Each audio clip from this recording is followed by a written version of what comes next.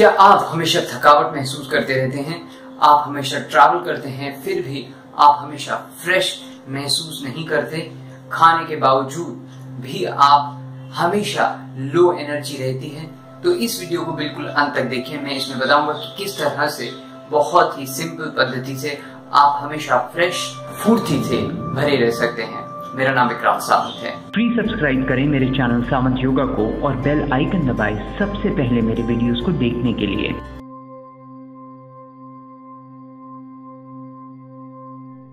जी हाँ मित्रों आज जो मुझे आपको बताना है वो है इसके बारे में। ये है देख रहे हैं आप?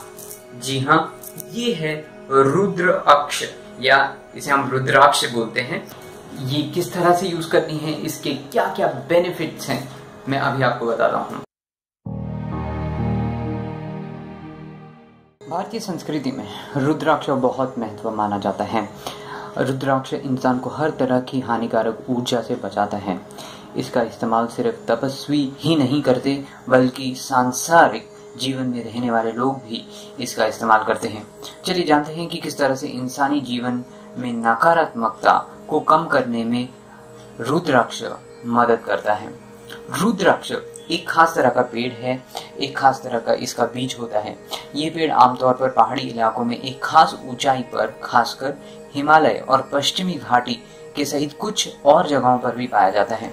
अफसोस की बात यह है कि लंबे समय तक इन पेड़ों के रेल की पटरी बनाने में, होने के कारण काफ़ी सारे पेड़ हमारे जा चुके हैं। आज देश में बहुत कम रुद्राक्ष के पेड़ बच चुके हैं। आज ज़्यादातर रुद्राक्ष नेपाल, बर्मा, थाईलैंड या इंडोनेशिया से लाया जाता है। रुद्राक्ष की खासियत यह है कि इसमें एक अनोखी तरह का संपदन होता है, यानी एक अनोखी तरह का वाइब्रेशन होता है, जो आपके लिए आपकी ऊर्जा का एक सुरक्षा कवच बना देता है, जिससे बाहरी ऊर्जा आपको परेशान नहीं कर पाती। इसीलिए रुद्राक्ष ऐसे लोगों के लिए बहुत बेहद अच्छा होता है जिन्हें लगातार यात्रा में होना अवश्य होता है या वो लोग अलग अलग जगहों पर रहते हैं।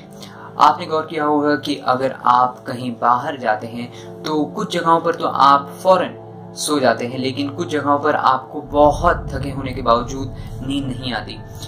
आ, इसकी वजह यह है कि अगर आपके आसपास का माहौल का यानी आपके आसपास की ऊर्जा अनुकूल नहीं है तो आपको उस जगह ठहरना मुश्किल हो जाता है। रुद्राक्ष माला एक कवच की तरह काम करता है। रुद्राक्ष नकारात्मक ऊर्जा के बचने का एक असरदार कवच रहता है। वह एक कवच की तरह काम करता है। कुछ लोग नकारात्मक शक्ति का इस्तेमाल करके दूसरों को नुकसान पहुंचाते हैं। यह अपने आप में एक अलग विज्ञान है। अथर्ववेद में इसके बारे में विस्तार में बताया गया है कि कैसे ऊर्जा को अपने फ़ायदे दूसरे के नुकसान के लिए प्रयोग में लाया जा सकता है।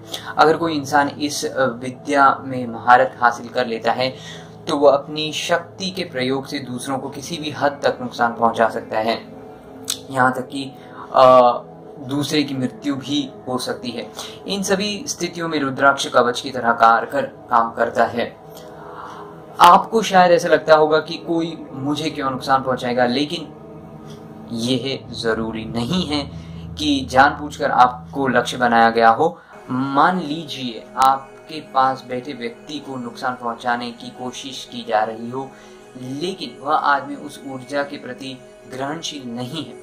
ऐसे में उसके बगल में बैठे होने की वजह से उस शक्ति का नकारात्मक असर आप पर भी पड़ सकता है। ठीक वैसे ही कि जैसे किसी सड़क पर दो लोग दूसरे पर गोली चला रहे हैं, लेकिन गोली गलती से आपको लग जाती है। भले ही गोली आप पर नहीं चलाई गई, फिर भी आप जख्मी हो सकते हैं क्योंकि आप गलत वक्त पर, गलत जगह पर मौजूद थे। हालाँकि इस सबसे डरने की ज़रूरत नहीं है, लेकिन रुद्राक्ष ऐसी किसी भी परिस्थिति से आपकी रक्षा करता है। गुरु एक रुद्राक्ष को अलग अलग लोगों के लिए अलग अलग तरह से जागरूक करते हैं।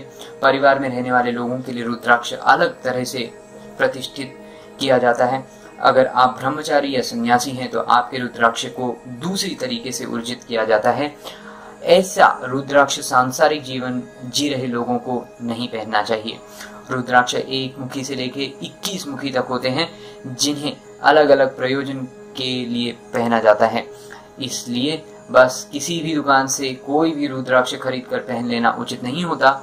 हालाँकि पंचमुखी रुद्राक्ष सबसे सुरक्षित विकल्प है, जो हर किसी स्त्री, पुरुष, बच्चे और हर किसी के लिए अच्छा माना जाता है। यह सेहत और सुख की दृष्टि से भी फ़ायदेमंद है। जैसे रक्तचाप नीचे आता है और स्नायु तंत्र तनाव मुक्त और शांत होता है। अगर आपको ये वीडियो अच्छा लगा यूजफुल लगा तो इसे बिल्कुल शेयर कीजिए और हमारे चैनल को बिल्कुल सब्सक्राइब कीजिए। प्लीज़ सब्सक्राइब करें मेरे चैनल सामंत योगा को और बेल आइकन दबाएँ सबसे पहले मेरे वीडियोस को देखने के लिए।